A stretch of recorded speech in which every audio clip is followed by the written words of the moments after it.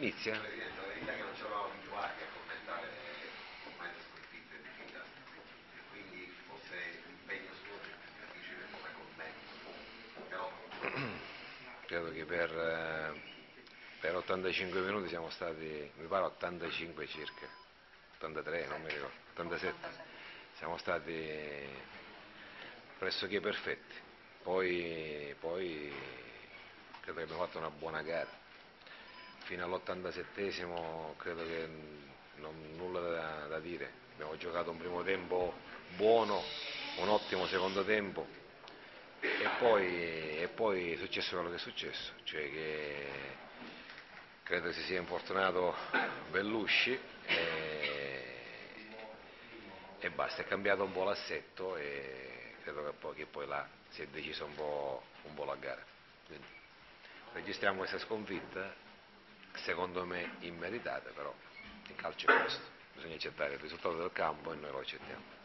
le dinamiche tecniche ne parleremo con Montello. Ovvio, Per assolutamente. quanto invece riguarda l'obiettivo che eh, lei come Presidente si era dato, che come squadra a un certo punto alla squadra è riuscita a trasmettere, Ma io credo, stato ma io credo che, diciamo, non, ripeto, non ho- è difficile commentare questo, questo risultato perché credo la partita noi l'abbiamo fatta, cioè la squadra non ha mollato una virgola, E abbiamo giocato credo, credo bene perché volevamo vincerla questa gara e ci stavamo riuscendo credo con, con- con pieno merito. Non- io ricordo soltanto il rigore del Lecce, l'unica azione in cui hanno tirato in porta, cioè non ricordo altre, poi loro hanno avuto dopo qualche altra, anche noi potevamo raddoppiare dire, nel primo tempo, non, non ho nulla da, non- sulla prestazione c'è poco da dire, cioè la squadra voleva vincere questa gara, ce l'ha messa tutta,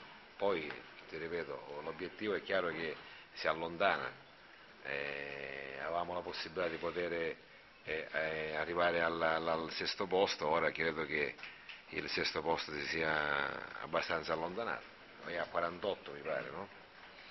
Matematicamente ci possiamo ancora arrivare, però ripeto, non, non, eh, perdendo queste gare quando ormai mancano sei partite alla fine comincia a essere complicato. Noi ce la giocheremo tutta, come abbiamo fatto oggi, per onorare il campionato, per, per noi stessi, ma ripeto da questo punto di vista se la squadra non avesse fatto la prestazione mi sarei arrabbiato, non posso dire nulla, assolutamente, ragazzi non posso assolutamente dire nulla. Resta il rammarico per la sconfitta però, nulla da dire. Presidente, al di là della prestazione, come diceva lei, chiaramente è stata sicuramente positiva, almeno per 85 minuti di gara. Secondo lei, considerate le circostanze in cui è maturata questa sconfitta, che tipo di ripercussioni ci potrebbero essere dal punto di vista psicologico, insomma, sulla squadra, anche in virtù dei risultati che sono maturati sugli altri campi, in particolare Roma e Inter, insomma, che hanno vinto? Non lo so, io che spero nulla, perché ripeto, non, non- non- non dobbiamo assolutamente demoralizzarci, può succedere, nel calcio ci può stare. E, oggi ci è successo, quindi bisogna ripartire, non- ripeto, non è mancato il gioco, e quindi su quello dobbiamo continuare. Mi pare che la squadra sta bene dal punto di vista fisico, tutto, quindi non, non dobbiamo fasciarci la testa, è stato un- un incidente eh, di percorso ripartiamo da, da lunedì prossimo a Trieste col Cagliari a fare eh, le, no- la nostre, le nostre gare così come abbiamo fatto finora e cercare di fare il risultato. Non credo che ci possano essere ripercussioni di nessuna natura perché ti dico che la squadra è stata in campo bene e non meritava assolutamente di perdere oggi. Questo diciamo è il mio commento è questo. Scusi Presidente, ma c'è anche un po' di rabbia per quello che è successo alla fine dell'applauso di Patrizio, che alla fine possiamo dire ha determinato il risultato? Sai, allora, se devo dire eh, così, chiaro, poi ehm, col senno del poi è chiaro che là c'è un errore da parte del, del portiere, però oh, sei in campo, no? non è, è istintivo, è un gesto che ti viene istintivo, non lo devi fare chiaramente perché davanti all'arbitro che ti ha appena appena ammonito batti le mani, l'arbitro non può non espellerlo, penso che eh, credo che la decisione del signor De Marco sia stata assolutamente ineccepibile. Non- nessun, al- nessun arbitro non può espellere un giocatore che ti batte le mani in faccia dopo che tu l'hai ammonito. cioè, no.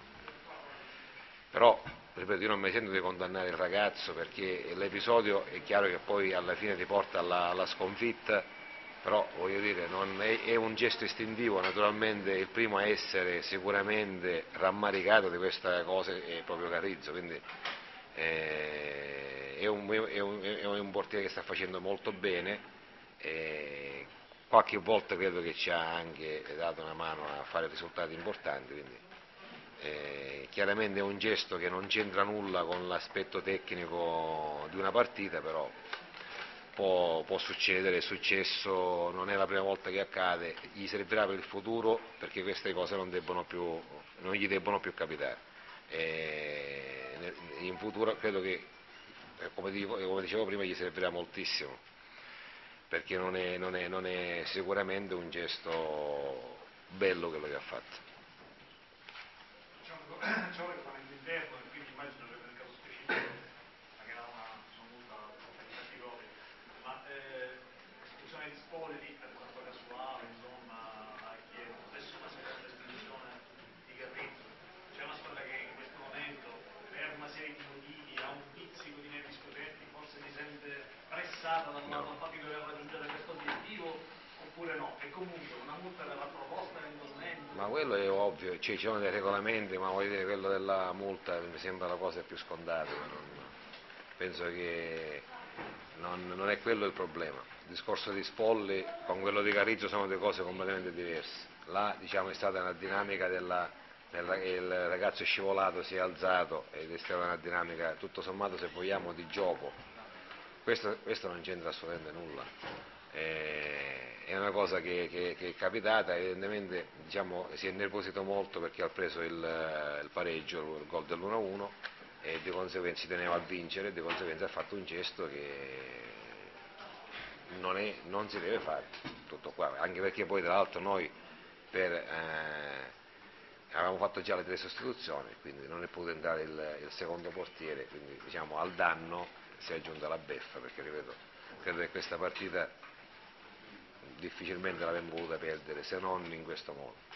Dico, può essere che in questo momento la squadra metta comunque la pressione in un obiettivo importante. Sì, le pressioni servono sempre. No?